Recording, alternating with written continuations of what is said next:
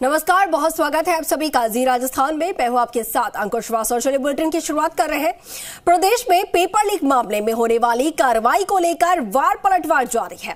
पिछले दिनों से आपको बता दें कि पेपर लीक में शामिल आरोपियों के घर पर बुलडोजर भी चलाए गए और अब इस मामले में एआईसीसी सचिव धीरज गुर्जर ने बयान दिया है। धीरज गुर्जर ने कहा कि कांग्रेस सरकार ने पेपर लीक के माफियाओं और सरगनाओं पर कार्रवाई की है। चाहे कोई कितना भी प्रभावशाली व्यक्ति हो, उस पर कार्रवाई होगी। धीरज गुर्जर ने और क्या कुछ कहा है? आपको सुनवाते हैं।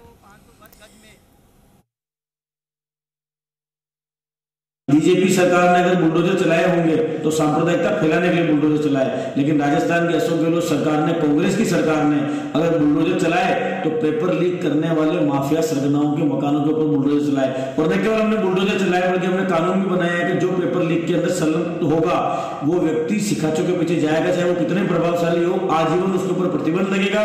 इसके साथ ही उन लोगों पर कार्रवाई भी होगी और जो इस तरह के काम में लिप्त होंगे, उनकी संपत्ति को भी नीलाम कर दिया जाएगा, उनकी संपत्ति को सरकारी कब्जे में ले लिया जाएगा। राजस्थान के अंदर सरकार कांग्रेस की जो हमारी है, इस बात के लिए लेकर संकल्पित है कि युवाओं के भविष्य के साथ किसी को कुठाराघात नहीं करने देंगे।